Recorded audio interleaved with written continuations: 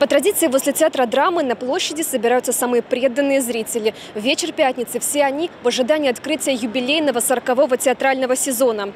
После долгого перерыва с премьеры «Три мушкетера» на сцене театра драмы выступят артисты театра юного зрителя. Все то, что было на замке почти 6 месяцев, наконец стало доступно. Культурные мероприятия набирают оборот.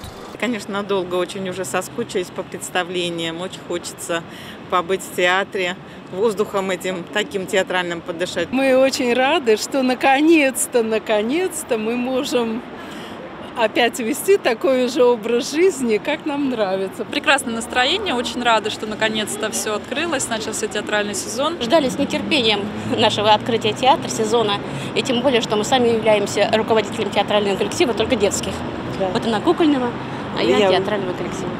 Мне очень хочется посмотреть. Я так давно в театре не было, просто истосковалась.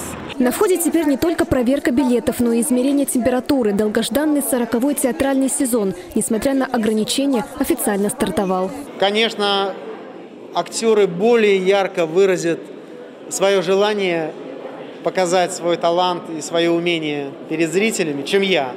Но я знаю с их рассказов, они безумно скучают по живому общению со зрителем, по живым глазам, эмоциям, аплодисментам, реакциям. На главной театральной сцене региона постановка «Три мушкетера» Максима Дунаевского. Характеры и мотивы романтического средневековья теперь и на сцене. Феерическая игра артистов Тюза. У меня есть запас дерзости, остроумия и находчивости, с помощью которого я собираюсь в Париже добиться большего, чем самый богатый дворянин. Жизнь, сударь, проходит, а я уже в таком возрасте, что хочешь, не хочешь, а надо, чтобы тебя уважали.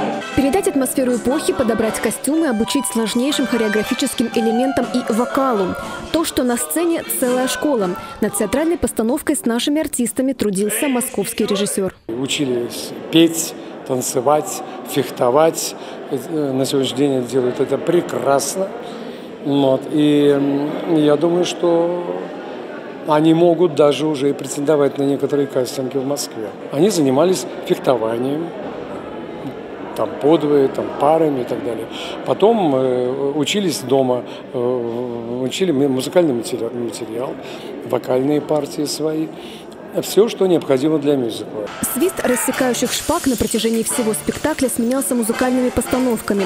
Мюзикл – сложнейшие сольные и дуэтные партии. Главная изюминка всего действия.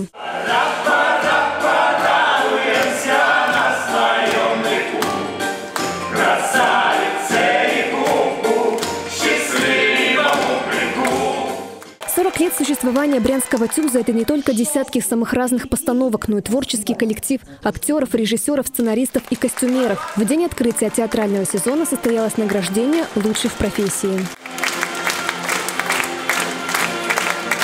За 40 лет наш театр поставил около 150 спектаклей.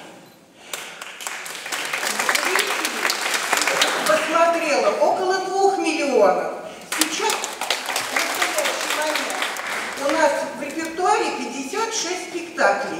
В основном русская классика. Самая замечательная новость, что наш театр пригласили в Москву на большой детский международный фестиваль со спектаклем «Каштанка». Среди зрителей сегодня очень много знакомых лиц, потому что пришли люди, которые действительно любят театр.